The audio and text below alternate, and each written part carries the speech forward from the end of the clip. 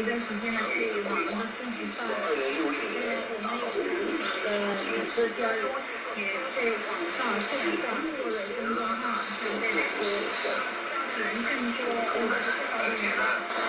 呃，今年四月份开始，我们是每个星期上午给老年六十岁以上的人，一个人或者一个中老年参与我们的一个活动。其实第二道没有问题，我就是不让你用，让你浪费时澳大利亚英国美国中国元首在九月十五日受到发布声明，欧美三国人士我们的历史传统，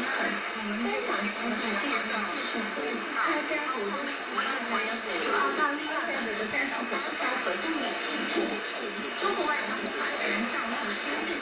十六日表示，透过共同协助澳大利亚取得合作与协议，